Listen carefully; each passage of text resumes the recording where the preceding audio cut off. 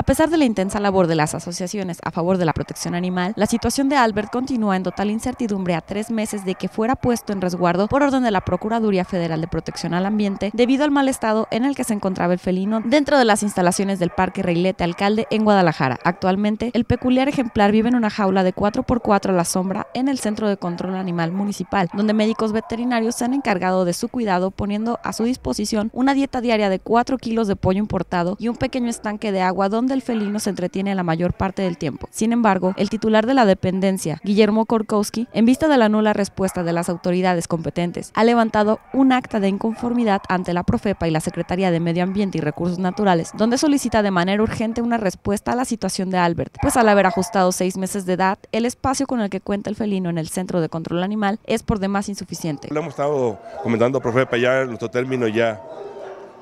llegó a su fin, esto ya se agotó,